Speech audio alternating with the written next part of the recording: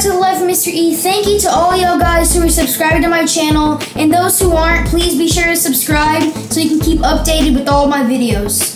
Hey, what's up guys? Welcome back to the Life of Mr. E. Today, we are going to be practicing on a par 3, 9-hole miniature golf course. Let's get right into it and see what I can score.